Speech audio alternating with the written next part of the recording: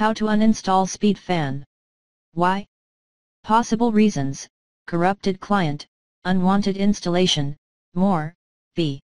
How? Solution number 1, gain admin access and start standard uninstall routine, do the common uninstall routine, restart your system, clean software remains manually, restart your computer whenever you're ready. Follow me, exactly. C. Solution number 2, try the recommended uninstall tool in the description area, if this removal guide fails to work.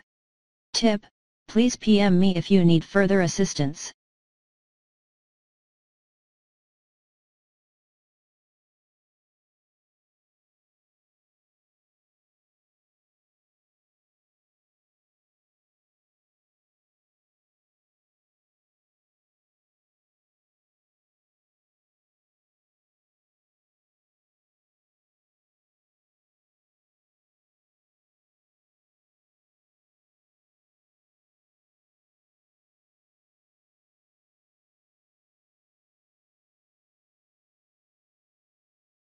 You